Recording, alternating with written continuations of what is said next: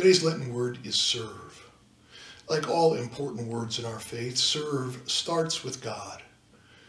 Godly, uh, God serves us first before we serve God at all.